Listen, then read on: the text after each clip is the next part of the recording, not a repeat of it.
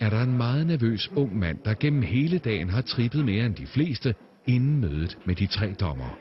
Jeg hedder Martin, og jeg bor i Ørum. Det ligger sådan lidt imellem øh, Randers og Viborg. Min drøm det er nok at slå sådan igennem som musiker og få en karriere som musiker. Og så sådan blive sådan, måske en legende. For sådan, han har en speciel stemme, ham der, og den er helt vildt fed. Det kunne være noget af det vildeste, ja. Det ville, det ville være helt fantastisk.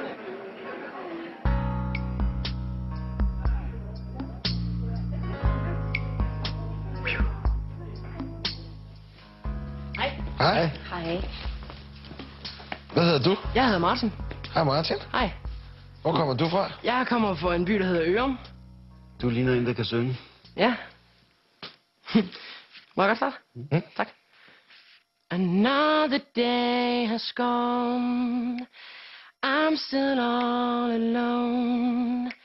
How could this be?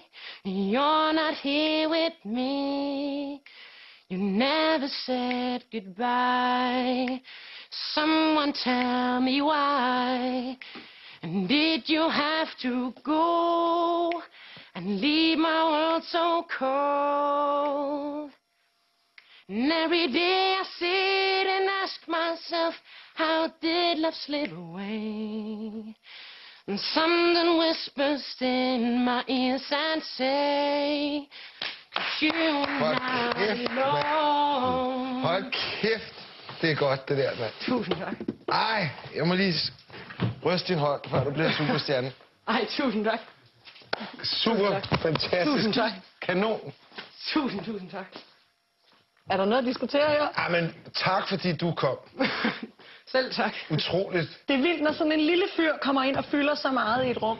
For det gør du. Totalt lysende øjne og... Ej, men jeg har bare lyst til at sidde og høre dig synge mere. Ej, tusind tak. Yes. Det er spændende at se, hvad der kommer. Videre, videre, videre, Videre, Yes. videre. Bare synge en anden, bare for hyggens skyld. Ja, Ja, for jeg vil gerne høre Vi mere. hører så meget lort, så det kan Ja, lad os få helvede. Once in my Ja, life, jeg gerne ja.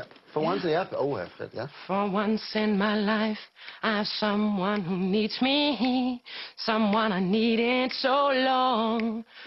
For once I'm unafraid, I can go where life leads me. Somehow I know I'll be strong. For once I can touch what my heart used to dream of long before I knew. Oh, someone warm like you would make my dreams come true.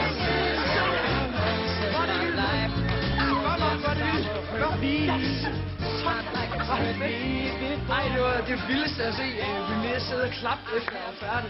Det var simpelthen, jeg, jeg vidste slet ikke, hvad jeg skulle sige. Det var, jeg, jeg tror, jeg sagde tusind tak 10 gange eller sådan noget.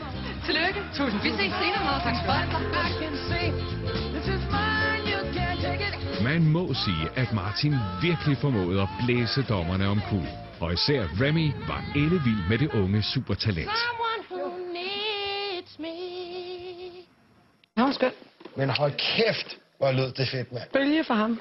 Ja, meget, meget specielt. Jamen ligegyldigt, hvad for nogle sange han ville Ja, synge, om det var rocksang, eller så ville det bare lyde super fedt. specielt. Næsten, Totalt. næsten nasal teknik. Jeg ved ikke fandme, han gør. Ja, men han havde masser af rum. Der var masser af lege med. Nej, men han havde bare, det var bare inderligt og, Ja. ja. og, og luft og frit. Ja.